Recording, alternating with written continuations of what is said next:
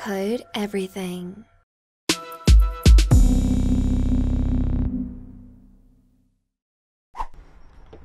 Alright guys, so we're gonna be learning how to do a flip, a vertical flip in Adobe Premiere Pro CC. So what I'm trying to do, you'll see right here, play the thing clip. to note is the house or the You'll see I'm point, pointing the wrong way. I want to point this direction because this is what I'm talking about right here.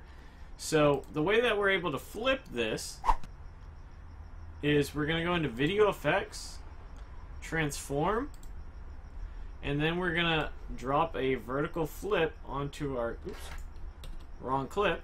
We're going to drop a vertical flip onto our thing, and now we flip this. You also have horizontal flip if you needed to do that for something as well. Um, usually vertical is what I'm going to 99% of the time when I'm pointing to the left or pointing to the right and I happen to get it backwards when I'm recording something. So I hope you found this helpful in seeing how to use the vertical flip.